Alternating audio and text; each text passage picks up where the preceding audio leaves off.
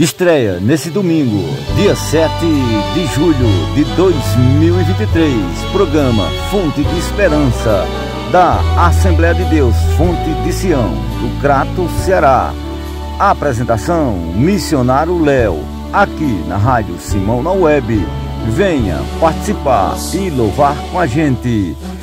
Que Deus abençoe a todos aqui na Rádio Site Simão na Web.